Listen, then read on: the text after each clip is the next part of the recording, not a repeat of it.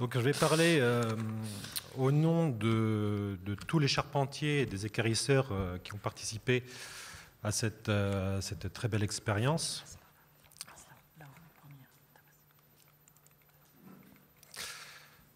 Et donc, notamment, je parle au nom aussi de, Nicolas Touchefeu, qui, n'est pas présent aujourd'hui, qui est le maître charpentier de Guédelon, et aussi de, Jean-Michel Huret, qui, on va dire, qui est euh, l'homme du bois, l'homme des bois de Guédelon, qui s'occupe de l'approvisionnement et euh, de l'écarissage. Alors je rappellerai que, hum, pour commencer, que le chantier de, de Guédelon représente pour les archéologues du bâti et les historiens des techniques euh, une opportunité absolument exceptionnelle de pouvoir observer en temps réel et en grandeur réelle tout le déroulement d'un grand chantier de construction médiévale. Ce chantier expérimental offre la possibilité de mieux appréhender euh, certaines questions euh, qui euh, sont très mal documentées par les sources archéologiques et textuelles, comme par exemple le montage d'une croisée d'ogives, comme l'approvisionnement des matériaux, comme par exemple les problèmes de manutention, le montage d'un engin de levage, etc. Je pense aussi au séchage, comme on en avait parlé, au séchage du mortier dans un mur épais. Donc euh, toutes ces données euh, qui sont vraiment très mal documentées et qu'on a donc l'opportunité d'observer sur un chantier expérimental comme celui de Guédelon. Je rappelle aussi que, et c'est assez important, que toutes les, étapes de la chaîne opératoire d'un grand chantier sont, sont, aussi réunies ici, et ça on l'a déjà vu, on a déjà parlé, comme euh, l'extraction des pierres, comme euh, la fabrication des tuiles avec l'argile locale, euh, comme la fabrication des engins de levage, l'élaboration de la chaux, du mortier, euh, la fabrication des cordes. Et donc, c'est vraiment pour en archéologie les historiens de technique, vraiment le terrain de jeu idéal pour pouvoir tester des, théories, pour valider des, des, hypothèses, etc. Donc vraiment, vraiment un lieu d'expérimentation de première importance. Alors, dans ce cadre-là, euh, le, couvrement du logis de Guédelon à partir de, 2008 représentait une opportunité euh, tout à fait inédite pour pouvoir euh, expérimenter la, mise en œuvre d'une charpente du XIIIe siècle, une charpente à chevron formant ferme des années 1240.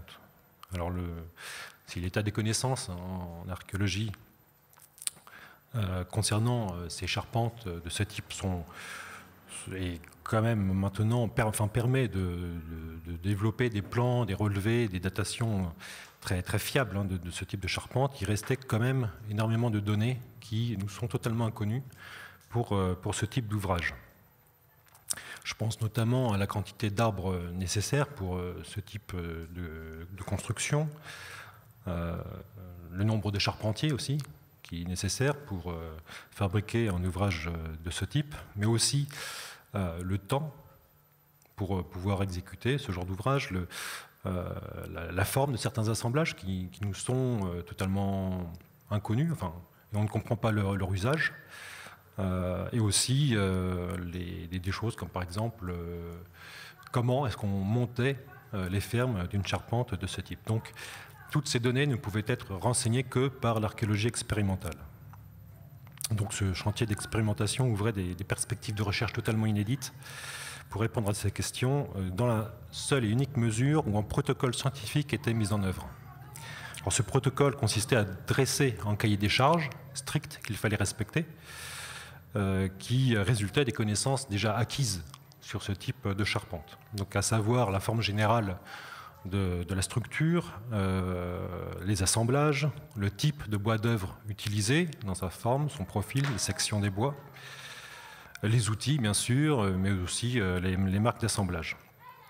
Et donc sur la base de ces données à respecter scrupuleusement, euh, l'expérimentation consistait, pour une équipe de, praticiens déjà bien expérimentés depuis dix ans à ces techniques de charpenterie médiévale, à imaginer et concevoir euh, les meilleurs procédés d'exécution et de manutention euh, d'un point de vue pratique et économique pour toutes les étapes de la chaîne opératoire. Et dès lors, euh, l'expérimentation consistait pour l'archéologue que je suis, après avoir dressé ce cahier des charges, d'observer les charpentiers au travail, de noter les solutions techniques qu'il mettait en œuvre et de comptabiliser les données quantitatives pour chaque étape, que ce soit pour la pour la consommation en matériaux, mais aussi pour le temps qui a été utilisé par ces charpentiers et les écarisseurs pour l'exécution de cette charpente.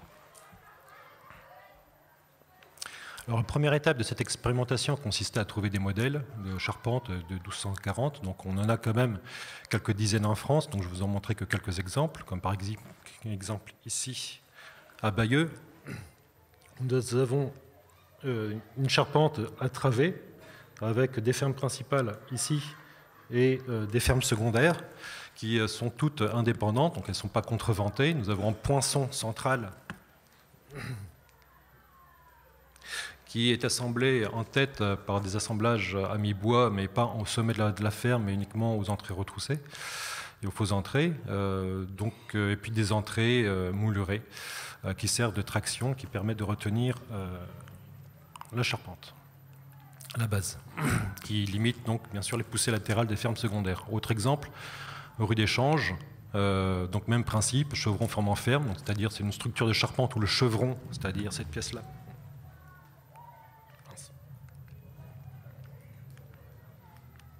Voilà.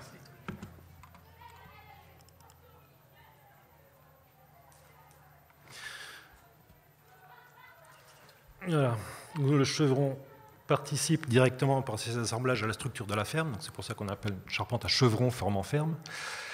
Et euh, nous avons euh, là des assemblages encore à mi-bois, mais surtout des, des embrèvements. Je ne sais pas si vous voyez bien, là, là, c'est des, pièces, enfin un type d'assemblage euh, qui, qui, permet l'emboîtement de la pièce après coup et qui concerne uniquement les pièces courbes de la, de la, structure, les jambes de force et les aisseliers. Donc là, nous avons une belle charpente avec une voûte en tiers-point. C'est l'exemple précédent, voilà, je parlais plutôt de celle-ci, enfin c'est pareil, on a la même structure. Avec, regardez, les, les poinçons, les pièces verticales qui sont extrêmement fines, les entrées aussi qui sont extrêmement fins. Je passe encore un autre exemple, là, le logicontal de Crépy-en-Valois. Ah.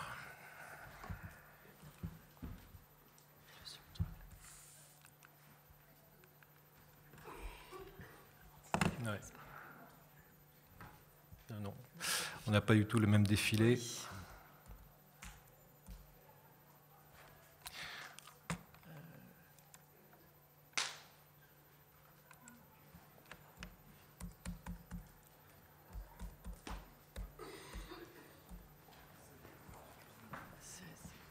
on recommence. Non, mais là, il y a une petite. Euh, hop, on ferme ça. Euh, à partir de la dipo. Voilà. Donc là, ça devrait marcher. Non, c'est pas la même. Ah, voilà. ça, c'est pas la même Donc je le fais avec ça. Ah oui, sur. Euh... Ah si, là, elle apparaît. Euh. Ok, c'est bon. Merci. Donc là, euh, donc, je ne sais pas si vous l'avez vu celle-ci. Ouais. Voilà la, salle du, la, grande salle du logis comptable de Crépy-en-Valois. Regardez les, poinçons qui sont extrêmement fins, qui est vraiment une caractéristique des charpents de la première moitié 13e. Les, entrées, c'est pareil. Et il a aussi une particularité, c'est qu'on euh, n'a pas de lambris euh, sur, ces, sur ces lambris, sur, ces, cette voûte, sur cette voûte puisque euh, pour cette période-là, la plupart des charpentes n'étaient pas encore lambris. Il faut attendre la fin du Moyen Âge souvent ça apparaît dès le XIVe siècle, que le, lambris vient recouvrir ces voûtes. Même s'il existe quelques rares exemples du XIIIe siècle, enfin en général c'est la fin XIIIe où on a des lambris, mais ils sont vraiment exceptionnels. Je reviendrai sur ce détail. Donc euh, la construction du logis a commencé en 2004. Elle a demandé six années de travail en parallèle à d'autres gros chantiers comme celui de la tour maîtresse. Et nous avons donc un bâtiment qui fait 24 mètres euh, de long sur 9 de large, avec euh, au rez-de-chaussée en cellier, euh, la cuisine, on le verra tout à l'heure, enfin on l'a déjà vu, et à l'étage, donc la grande salle, accessible par le degré et la chambre ici. Donc le tout couvert par une charpente à chevron formant ferme de, de, 5 travées, avec des travées de, de, 5 à 7 fermes secondaires, donc toutes indépendantes. Et euh, donc sur cette base-là, dans le détail, donc euh, voici une ferme principale avec donc deux chevrons, raidis en partie haute par en faux entrée, en entrée à la base, soutenus à mi-portée par un, en, faux poinçon, puisqu'il est assemblé ici à mi-bois. Euh, l'essentiel des assemblages sont des tonneaux mortaises, excepté ici, où nous avons des embrèvements qui sont chevillés transversalement, euh, qui est donc une caractéristique hein, du, charpent du XIIIe siècle. Donc en fait, ce, type de charpente est, on va dire, regroupe toutes les caractéristiques des charpentes de la fin de la première moitié du XIIIe siècle, avec aussi des moulures vraiment très caractéristiques. Ici, quelque chose d'assez original, euh, mais qui aussi, euh, que l'on rencontre dans les charpentes de cette période-là, c'est une poutre de rive assemblée dans le flanc de l'entrée, qui est une très grosse poutre de forte section, dans laquelle les blochers, c'est-à-dire des petites pièces qui viennent s'assembler derrière pour reprendre euh, les poussées latérales des fermes secondaires, permet en fait de lutter contre l'écartement de la charpente. Donc une technique qui est vraiment euh, typique de cette période, qu'on rencontre dans d'autres charpentes du même type. Et ici, un assemblage aussi typique, c'est-à-dire en, en, tenon en forme de demi-queue bloqué par un rossignol, qui permet en fait de, retenir en fait l'entrée plus facilement. Alors, euh, j'ai oublié de préciser une chose, c'est que la plupart euh, des, bois de cette charpente, en fait, sont des bois de très faible section, du 15-15, excepté euh, les entrées et puis les poutres de rive qui sont du 20-20. Et ça aussi, c'est quelque chose que l'on rencontre dans la plupart des charpentes du XIIIe siècle, puisque nous avons des modalités d'approvisionnement en bois d'œuvre pour XIIe, XIIIe siècle qui est assez spécifique, puisque nous avons des, pour cette période des flûtés qui sont extrêmement denses, où euh, les arbres montent euh, très rapidement en l'espace de 50-60 ans. On arrive à avoir des arbres qui font 25 cm de diamètre à la base, avec des fûts exploitables de 15 à 18 mètres. Et c'est quelque chose qui, malheureusement, on a du mal à retrouver aujourd'hui, parce que les systèmes d'exploitation sylvicole ont totalement changé, avec des éclaircies très régulières. Et euh, on peut retrouver des formes à peu près similaires, comme ici à gauche, à la forêt de Bercé, où on a voilà, en fût de 15 mètres de long, qui va de là à là, d'ici à là.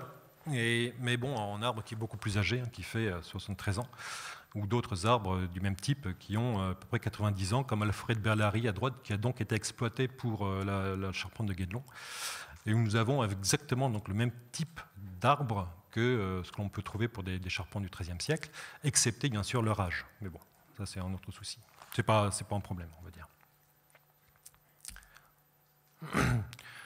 Donc euh, cette euh, première exigence satisfaite concernant le, type d'arbre utilisé, savoir au niveau de sa section, au niveau de son diamètre, euh, au niveau de sa longueur, de sa forme, et au fait aussi que ce sont des bois qui sont utilisés en tant que bois de brin, c'est-à-dire qu'on conserve le cœur de l'arbre hein, dans chaque pièce, hein, ce sont des pièces qui sont écarées.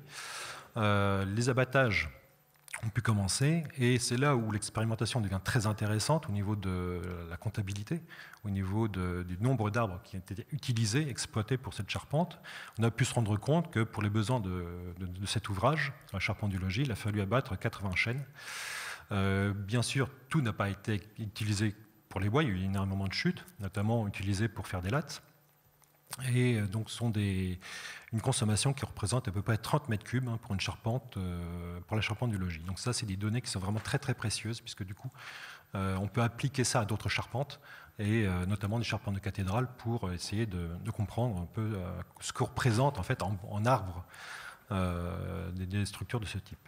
Alors on retrouve bien sûr ce pourcentage de très forte proportion euh, d'arbres de faible diamètre hein, dans, cet ouvrage, donc des, chaînes qui sont de 25-30 cm de diamètre seulement, donc à 95%, et 5% uniquement des bois de très fort diamètre. Donc là aussi ça casse un peu euh, l'idée qu'on se fait souvent des charpentes médiévales où on dit que c'est des, arbres qui sont énormes, qui sont gigantesques. En fait pas forcément, en majorité c'est des arbres de très faible diamètre. Alors, concernant euh, les ateliers euh, euh, des charpentiers, en fait, les ateliers se, départagent en, en, fait, en deux ateliers, l'atelier des écarisseurs et l'atelier des, charpentiers. Alors, concernant le travail des écarisseurs, c'est un travail qui s'est fait donc juste après les abattages, puisque l'expérimentation a montré aussi qu'au bout de trois ans, c'est très difficile de travailler à la hache sur des bois qui sont déjà séchés de trois ans. Et euh, donc, euh, la première étape consistait en fait au débitage des grumes, à savoir euh, quel type de pièce on va, on va, on va, on va tailler dans, dans, grume, à savoir si on va dans un chevron de, de, 14 mètres ou 13 mètres, on va faire deux chevrons ou bien en chevron, plus en esselier, etc. Donc en fait, le débitage commence à cette étape, puis ensuite, on fait l'écarissage. Alors, ce qui est très intéressant, c'est que on retrouve hein, dans la plupart des charpents du XIIIe siècle, ici par exemple, ce qu'on appelle les traces d'ébauchage. En fait, c'est des traces qui sont euh, transversales aux fibres et qui euh, sont le plus souvent euh, effacées par l'écarissage et qui témoignent d'une technique très, très particulière qui consiste en fait à, faire ce qui a donc été fait à Guédelon, des entailles qui permettent de faciliter l'écarissage pour éviter qu'il y ait des flashs et que les, des, fibres qui, qui, qui s'arrachent trop profondément à l'intérieur de, l'arbre. Donc voilà une, des techniques, par exemple, qui était respectée. Euh, là, l'expérimentation a permis donc d'avoir des données très, très précises sur le temps euh, qu'a pu euh, représenter hein, l'écarissage des bois de, cette charpente. Et pour simplifier, en fait, on s'est rendu compte qu'il fallait à peu près une heure pour une personne pour, faire, pour écarrir un mètre de bois sur ces quatre faces. Donc ça c'est euh, et puis donc du coup euh, appliqué sur les bois de la charpente, donc on a à peu près pour en chevron à peu près un, temps de travail de, 6 heures pour une personne. Et de même donc pour les, des bois d'une ferme secondaire, ça représente à peu près 2 euh, jours pour deux hommes. Donc ça c'est des données qui sont vraiment extrêmement précieuses parce qu'on ne l'a pas dans les textes. Et c'est forcément quand on est, quand on est devant des, charpentes, c'est aussi des données qu'on ne peut pas avoir et qui permettent aussi d'estimer donc, le temps de travail pour euh, d'autres charpentes du même type. Donc, quand tout est pour tout, l'écarissage de tous les bois de la charpente représente 1300 heures euh, pour une personne. Donc, et appliqué euh, à un temps de travail médiéval, à savoir une semaine avec 6 jours de travail de 8 heures, cela représente à peu près 6 mois hommes. Et ça aussi, c'est des données vraiment très précieuses. Donc là, en bas à droite, euh, vous avez par exemple une pièce courbe, une photo représentant euh, l'écarissage d'une pièce courbe qui se fait euh, à partir d'un gabarit. Les, pièces droites se font au lignage. Alors une fois que les bois sont écaris, ils sont disposés sur, sur une aire d'épure, donc en plancher provisoire sur lequel est tracé l'épure de la charpente. Donc l'épure, c'est par exemple ce trait-là que vous voyez en dessous. Et les bois sont dit, enfin on dit que les bois sont mis sur ligne, c'est-à-dire qu'on va aligner chaque pièce écarie le long de cette ligne, et on va empiler euh, les bois euh, les uns sur les autres à l'aide de cales pour, euh, pour réaliser donc ici la ferme. Nous avons trois épures qui ont été utilisées pour cette charpente, une épure pour la travée, donc le plan de la travée, euh, une coupe d'une poutre de rive avec l'emplacement euh, des, fermes secondaires et euh, une épure pour les fermes. Ce sont trois épures qui sont imbriquées les unes dans les autres. Donc un procédé qui est extrêmement simple, qui, qui est utilisé de façon encore traditionnelle.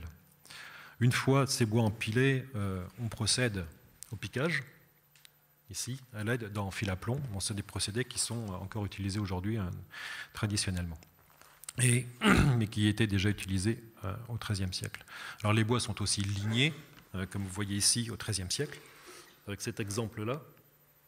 Donc ce sont des, traits qui sont euh, tracés au cordeau le long des bois pour aligner les assemblages. Et là, vous avez des traces de piquage, ici, qui, sont, qui, permettent de délimiter transversalement la, longueur des assemblages et qui se fait au fil à plomb, comme ce qui est pratiqué ici à Guédelon. Donc au niveau de la gestuelle des charpentiers, au niveau des pratiques, euh, on est vraiment euh, dans, le,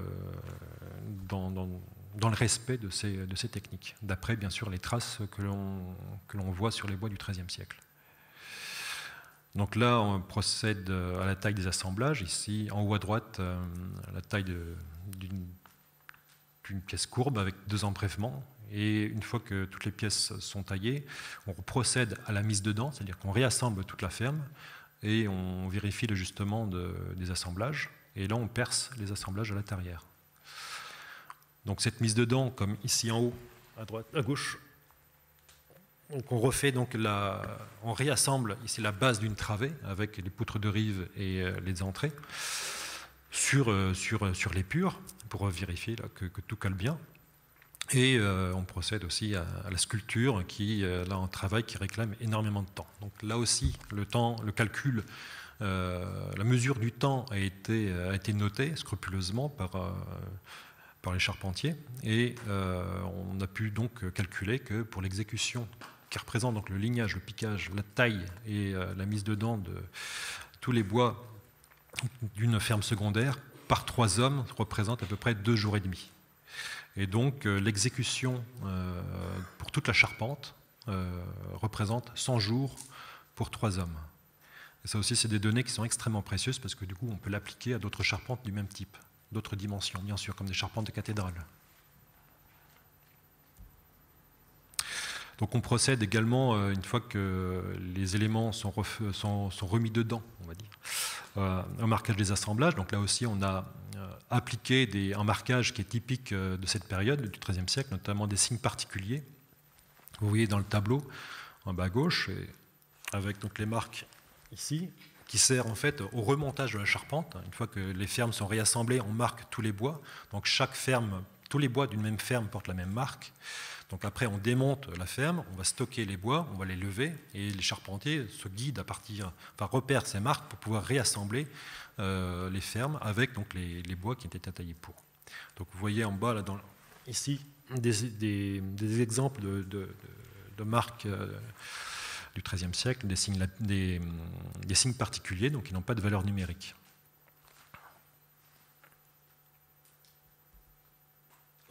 Alors la question du levage de la charpente était vraiment cruciale, puisqu'on a tout écrit et n'importe quoi sur le levage des charpentes à chevrons formant ferme, moi le premier, euh, en essayant d'imaginer que bon, les fermes étaient peut-être réassemblées au sol, puis levées avec des gros engins de levage et reposées directement sur les sablières ou que des, on a pu lire aussi que des charpentiers euh, montaient sur les, euh, sur les murs comme des écureuils pour remonter les fermes avec les pièces euh, une à une. bref, on ne savait vraiment pas comment ce type de, charpente pouvait être levé. Et ce qui était intéressant, hein, c'était de voir comment, quelles astuces les charpentiers allaient mettre en œuvre pour pouvoir faire le levage de ce genre de structure. Ils ont mis le doigt sur quelque chose qui était en fait très très simple et très logique. Euh, mais auquel, une solution à laquelle on n'avait vraiment pas du tout pensé, et qui consistait à mettre en place tout simplement un échafaudage en plancher de travail à la hauteur des sablières, et en une sorte de, plancher de travail qui évoluait avec, euh, avec la progression du chantier. Et euh, donc c'est sur ce plancher de travail que les fermes ont été reconstituées une à une. Donc là, vous voyez que la base d'une travée a déjà été reposée, avec les sablières, les entrées, les blochers, et il restait à lever donc euh, les fermes une à une. Alors euh, c'est là que la, forme des assemblages prend euh, tout son sens, puisque on réassemble en priorité les bois à tenons mortaise, qui sont assemblés à tenons mortaise, comme vous voyez ici avec ces deux chevrons et l'entrée retroussée. Et détail très intéressant, c'est ce que fait cet homme, c'est-à-dire qu'il cheville. Il cheville donc forcément verticalement. Et après, la ferme est levée. Et en fait, jusqu'à présent, euh, quand on essayait de, retrouver le sens de montage d'une charpente, euh, bah, on se disait, bah, tiens, on va, on va suivre la, numérotation des assemblages, puisque souvent sur une charpente, on a 60 fermes, on a une numérotation en chiffres romains euh, qui va de 1 jusqu'à 60. On se dit, ben voilà, ils ont remonté la charpente à partir du 1 jusqu'à 60. Sauf que parfois, le, chevillage est dans le sens inverse. en fait, c'est bien évidemment le chevillage qu'il faut suivre et non pas la numérotation des marques. Puisque si ce procédé est vraiment celui qui a été utilisé au XIIIe siècle, il paraît logique qu'une fois que la ferme est levée, c'est le sens du chevillage qui indique le sens du montage de la charpente. 10 minutes 5. 15 5. Super. non, Gérard, Donc voilà, je, vais, je continuerai donc, euh, sur le montage de ces, donc, des, pièces à embrèvement qui du coup euh, permettent de comprendre qu'en fait ce sont des bois qui sont mis après coup, dans un second temps, certainement pour pouvoir alléger en fait, le levage de la charpente, comme on voit ici, les jambes de force qui sont mises en œuvre après coup qui donc du coup facilitent euh, le levage. Donc vous voyez qu'en fait il s'agit tout simplement après de lever légèrement le chevron pour mettre en place les jambes de force qui sont simplement chevillées après coup. Euh, autre petit détail que vous voyez ici, pour pouvoir ajuster les assemblages dans les, dans il a fallu tendre en une corde pour pouvoir bien les ajuster, et ça fait penser comme euh, à certaines charpentes du XIIIe siècle, on voit effectivement sur les blochets des percements qui peuvent du coup être liées à la fixation de cordages pour bien sûr ajuster les assemblages déblochés au sablière. Donc c'est un indice qui permet de réfléchir aussi sur les charpentes du XIIIe siècle. donc, et puis donc vous voyez donc, le levage qui s'opère à la main de façon extrêmement simple, sans engin de levage. Donc là aussi, le temps compté euh, sur ce chantier était très intéressant puisqu'on s'est rendu compte que le levage se faisait d'une façon extrêmement rapide, euh, puisque le levage d'une travée représente simplement 10 jours de travail pour une dizaine d'hommes, et que c'est surtout euh, le, montage des bois avec les engins, le stockage sur les, planchers d'échafaudage qui prend en fait le plus de temps. Le, le remontage d'une ferme et le levage se fait de façon très rapide. Et donc ce temps, donc 10 jours euh, pour 10 hommes pour une travée, euh, ne prend pas en compte bien sûr le, déplacement de, l'engin de levage, qui bien sûr suit la progression du chantier. Un engin avec donc une cage d'écureuil qui est située au pied des murs, avec une chèvre de rappel en partie haute pour pouvoir réceptionner bien sûr les, éléments.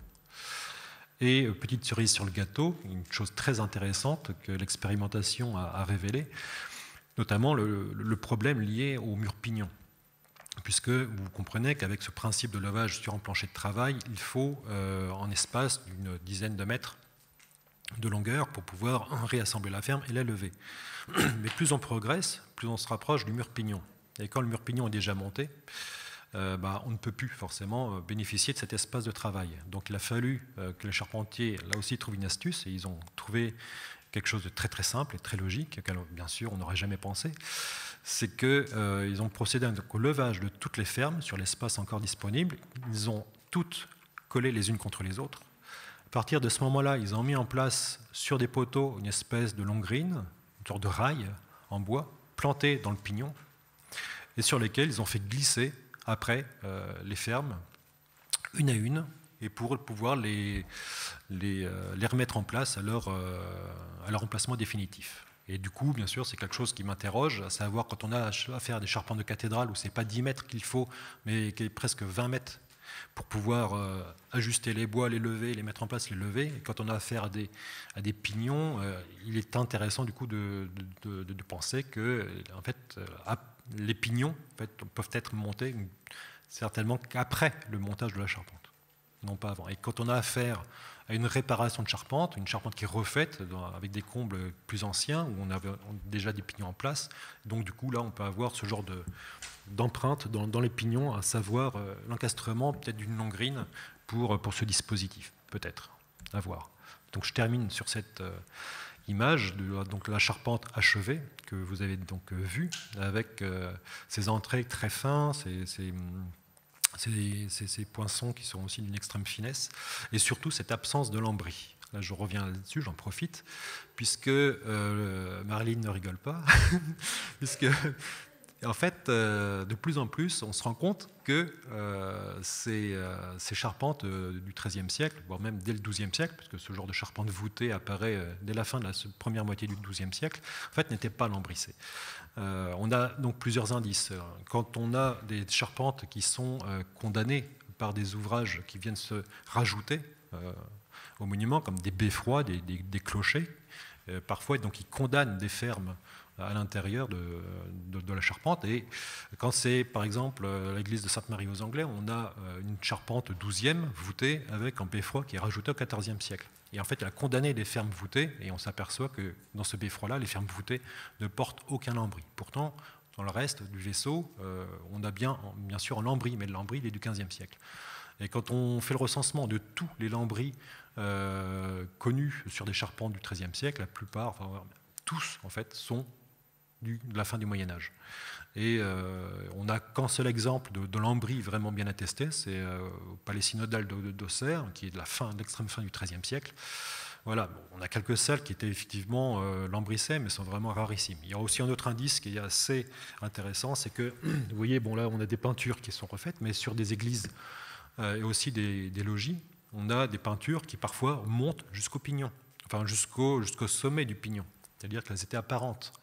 Et s'il y avait eu en, lambris à l'origine, euh, il n'était pas nécessaire de peindre des motifs avec euh, en faux appareils, des fleurs, euh, jusqu'au sommet du pignon. Donc là aussi, c'est des indices qui, témoignent du non-lambris sage de, ces voûtes.